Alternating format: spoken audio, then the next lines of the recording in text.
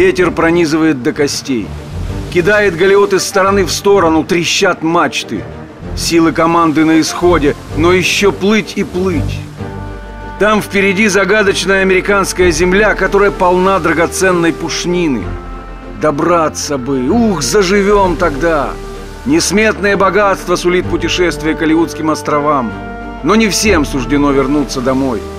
На путешествие в Америку в 18 веке решиться могли лишь единицы. Были такие авантюристы и среди курян. Целые поколения наших купцов отправлялись туда за пушниной. Шелиховы, Голиковы, Мухины, Дружинины, Полевые. Странно, что какой-то дух предприимчивости отличал моих предков среди тогдашнего купечества.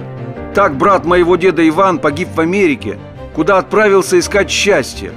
А старший дядя мой Василий решился ехать в Камчатку, где оставалось наследство после Ивана. И он также не воротился на свою родину.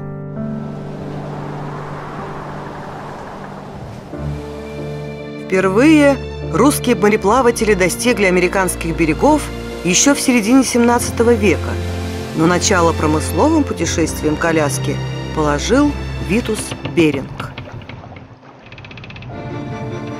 1728 году по указу Петра Великого он отправился в первую Камчатскую экспедицию искать, где Азия сошлась с Америкой. Берегов Аляски в тот раз он не достиг, но в своем донесении написал «Камчатские жители сказывали, что будто в ясные дни они видят землю через моря». В 1741 Беринг совершил еще одну попытку добраться до берегов Америки – и в этот раз цель была достигнута.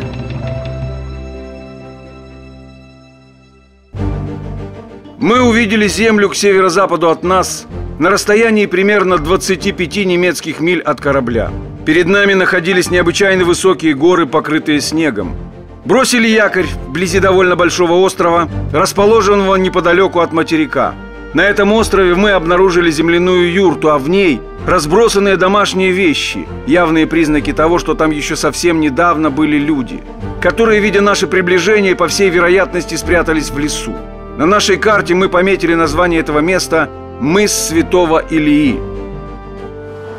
Так был проложен путь к берегам Америки, по которому сразу же отправились на промысел предприимчивые купцы. Они открывали новые острова, все дальше проникали вглубь континента. Белые пятна на карте стали стремительно исчезать. Чем же так притягивала Аляска и близлежащие острова мореходов? А дело в том, что там в большом количестве водились каланы. Их еще называют морскими выдрами и морскими бобрами. У этих животных очень ценный мех, густой и плотный. В XVIII веке он пользовался бешеным спросом – Охота за шкурами каланов приносила огромную прибыль. Ради нее стоило проделать столь сложный путь. Экспедиции длились по нескольку лет. Только на дорогу от Курска до Иркутска мог уйти целый год. Надо сказать, что, допустим, э, фельдъегерь, который выезжал из Петербурга со срочной депешей, он доезжал до Иркутска примерно э, за месяц. Но это был фельдъегерь, который вот по тем временам и быстрее него никто не мог ехать, потому что у него было специальное поручение, ему везде давали лучших лошадей сменных, и он практически безостановочно скакал из Петербурга до Иркутска. Купцы же двигались размеренно. С собой они везли груженные товарами и припасами обозы. Приходилось брать с собой снаряжение, например, те же корабельные якоря. В Сибири их просто было негде изготовить, поэтому их везли с собой из Центральной России. Ну и поскольку нагрузить на одну телегу якорь было трудновато, лошади могли не сдвинуть, то эти якоря просто пилили надвое и везли по частям, и уже в Охотске на месте их в кузницах сваривали. Морское путешествие обычно начиналось в Охотске, где располагался порт.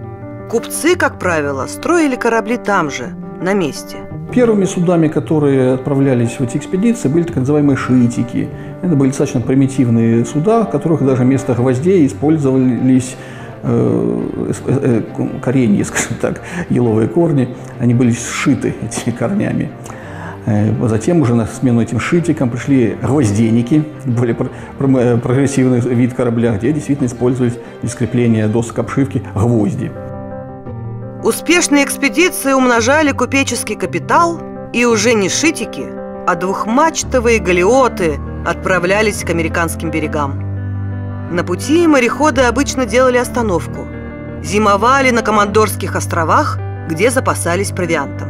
Там они били морского зверя, стиллерову корову, которая, собственно, в конце концов была истреблена в итоге.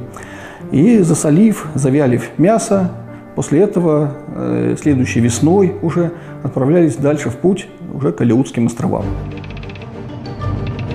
Добравшись до островов, промысловые люди стремились как можно скорее набить трюмы драгоценной пушнины. Организовать экспедицию стоило больших денег. В одиночку такое путешествие мало кто мог себе позволить.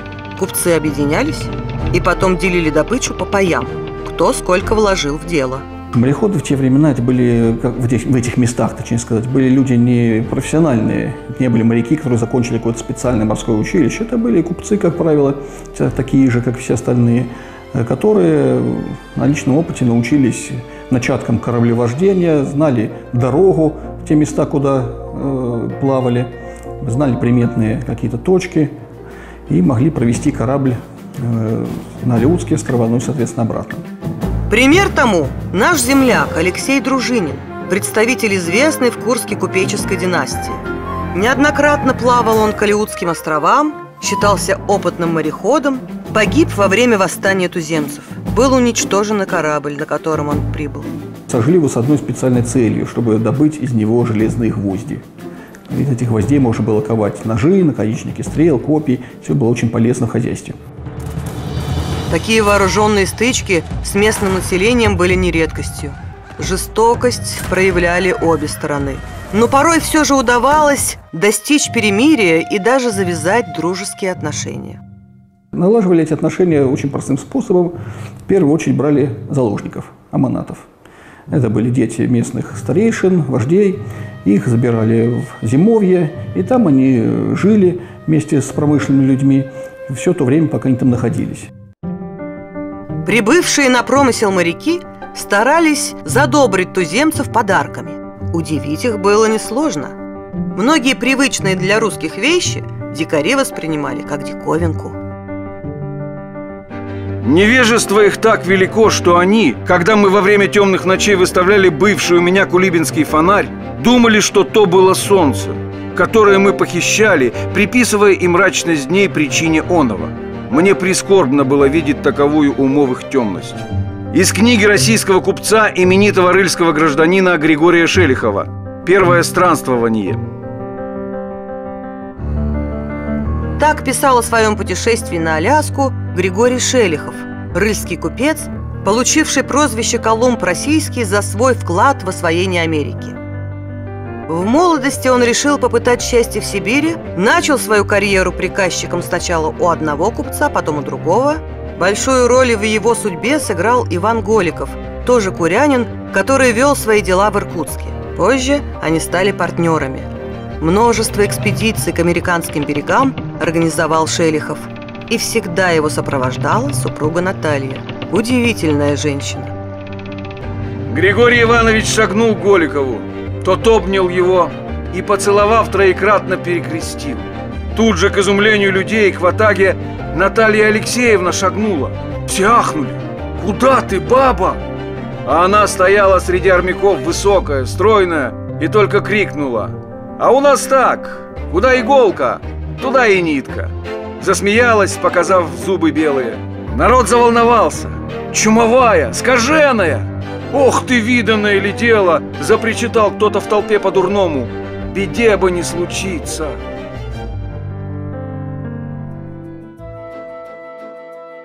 Всякое было в плавании. И болезни, и голод, неудачи. И все же присутствие отважной женщины воодушевляло команду. Надежной помощницей стала Наталья супругу, и когда он затеял основать поселение на острове Кадьяк. Шелихов э, составлял планы всестороннего исследования и затем э, освоения новых территорий. Планировал строить там поселения, разводить скот, заниматься земледелием, искать полезные ископаемые. Э, обращался в правительство с просьбой прислать ему поселенцев, знающих различные ремесла. Наладить собирался торговлю с иностранными купцами. Есть хорошие и годные хлебопашеству земли – в чем я и самыми опытами удостоверился, сея в ячмень, просу, горох, бобы, тыквы, морковь, горчицу, свеклу, картофель, репу и ревень. Все родилось наилучшим образом, кроме что проса, горох, бобы и тыквы не принесли семян. И то от того только, что упущено было время, в которое бы сеять должно было. В 1787 году Екатерина II возвращалась из своего путешествия в Крым и посетила Курск. Городской голова, тот самый Иван Голиков, партнер Шелихова, торжественно встретил императрицу вместе с местными жителями. Пышное было шествие. Среди даров, которые он ей преподнес, была и карта Шелиховых странствий. А спустя год – Курские купцы обратились к императрице с прошением об исключительном праве на ведение промыслов в Америке, чтобы избежать варварского истребления природных богатств этого материка. Императрица отказала. Для того, что Голиков и Шелихов суть добрые люди, представляют им дать исключительный торг, а того позабыли, что кроме их на свете быть могут добрые же люди – Чтоб Голиков и Шелихов одне торговали в новооткрытые места, сие прошение есть сущая монополия и исключительная торговля, противная моим правилам. И все же вклад курян в освоение Америки Екатерина II оценила высоко. Наградила Шелихова и Голикова шпагами, медалями и похвальными грамотами. Много сделал рыльский купец за свою жизнь, а планов было еще больше – но в 1795 году он внезапно скончался. Суматоха с дележкой его наследства побудила императора Павла I основать российско-американскую компанию, получившую исключительные права на промысел в Америке. Куряне э, достаточно активно участвовали и в деятельности российско-американской компании. Они э, служили приказчиками, служили мореходами, отправлялись э, туда в качестве промышленных людей. Ну и некоторые из них э, являлись и акционерами компании. Это были достаточно крупные, конечно, торговцы, в первую очередь связанные с семейством Шелихова, разумеется. Но не только купцы рвались к берегам Америки. Вместе с ними в плавание отправлялись и крепостные. Для многих это было началом новой, свободной жизни. Удивительно судьба сложилась у Тимофея Тараканова – он плавал в Калифорнию, побывал в плену у индейцев на Гавайях, где заслужил почет и уважение. Я сделал из бумаги змея и, приготовив из звериных жил нитки, стал спускать его. Поднявшийся до чрезвычайной высоты змей изумил диких. Приписывая изобретение это моему гению, они утверждали, что русские могут достать солнце. Тараканов освободился из плена – и продолжил участвовать в морских экспедициях. Позже получил, наконец, вольную. Известно, что в 1825 году Курская казенная палата приняла решение о зачислении Тараканова и его сына в мещанство. Но на родине он, по всей видимости, не остался. Дальше следы его теряются. Достиг успеха в Америке и Филипп Кашеваров, тоже курский крепостной. Совсем юным он попал на Аляску – Быстро освоил мореходное дело, а потом и вовсе там осел. Он женился на Алиутке. Его дети э, стали священниками, мореходами, приказчиками. И потомки этих людей живут в том числе и в Америке по сей день. Некоторые вернулись на родину, некоторые остались там. Ну, в частности, наиболее известен это его сын Александр Филиппович Кашеваров, известный полярный мореплаватель, путешественник, который скончался уже в 1870 году в Петербурге в ранге генерал-майора. Романы с туземками были не редкостью. Моряки, соскучившись за время плавания по женскому вниманию, вступали в брак с алиутками, чаще всего неофициально, ведь дома многих ждали жены. В частности, известен курский купец Иван Фатеев – который там в Америке действительно официально женился на Леутке, все у них было хорошо, но потом выяснилось, что в Курске у него осталась семья. И жена забеспокоилась, она интересовалась, что же у нее с мужем случилось. Она писала письма э, в правление компании. Там провели вот это расследование, выявили, что Фатеев, оказывается, многоженец. Периодически на американском континенте то тут, то там русские строили свои поселения. Так в заливе Якутат в 1795 году появилась Новороссия. Была небольшая крепость, и он, э, туда были присланы поселенцы, добровольцы, которые вот решили перебраться в Америку, нанялись на службу компании, именно не как э, промышленные люди, не как охотники на морского зверя, а именно как поселенцы, знающие различные ремесла. И вот для руководства ими был назначен Николай Мухин. Через несколько лет Курянин стал просить освободить его от этой должности. И был услышан, как раз вовремя. Уже в 1805-м Новороссию уничтожили индейцы, а Мухин остался жить на острове Кадьяк. Еще одно крупное поселение, крепость Рос, появилось в Калифорнии в 1812 году, но спустя несколько десятилетий было продано американцу – кстати, существует оно и сегодня. Теперь это исторический парк.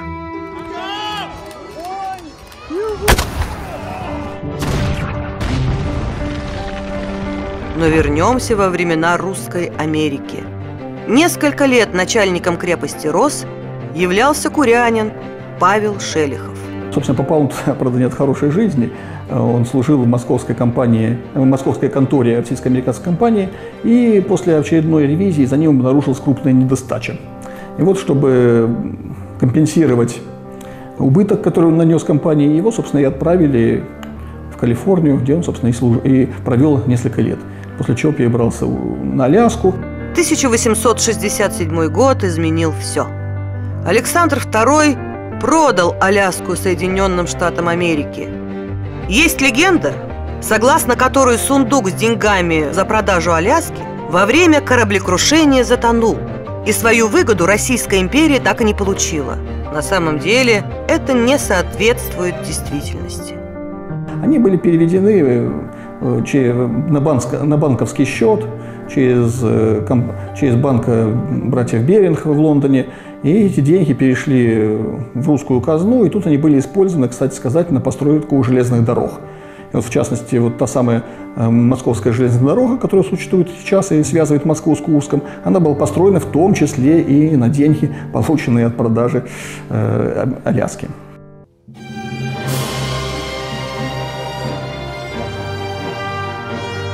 Население, проживавшее в то время на Аляске, получило право выбора – стать американскими гражданами или уехать в Россию. Так что потомки мореплавателей, в том числе и курян, до сих пор живут там –